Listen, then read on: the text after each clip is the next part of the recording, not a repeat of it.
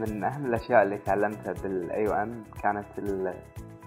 إني أقدر how I cope with with pressure شلون أتعامل مع الضغوطات يعني كنا ناخذ بال... بال course مثلا ست مواد بال project بال academic activities بال بال midterms بال بال assignment فهذا كله علمني آه، يعني شلون أتعامل مع الضغط بال... بالوظيفة؟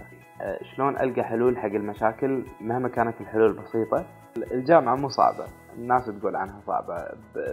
عشان تحقق أي شيء وتجيب شهادة لازم تتعامل مع ضغط لازم تحوشك صعوبات. فما في شيء اسمه الجامعة صعبة لو اجتهدت ودرست وركزت ما راح يكون عليك شيء صعب. واللي يقول علينا ضغط ال midterms والهذا وبالنهاية ال project وال academic activities هذيلا حق لمصلحة الطالب.